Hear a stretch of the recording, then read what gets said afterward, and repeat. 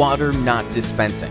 If after one hour, water is not dispensing from any spout, or if a dispense button seems to be stuck, follow these steps to fix the problem.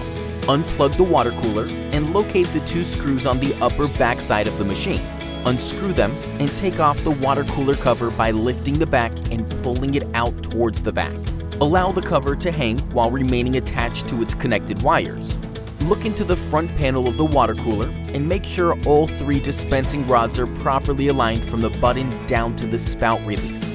If any are out of place or if anything is in the way, simply reposition it so the dispense buttons can press smoothly while the spout releases a steady flow of water. If water is still not flowing from the spout, open the cold tank cover and look to see if water has filled inside. If no water is in the cold tank, please see the instructions on properly connecting the bottle and activating the pump.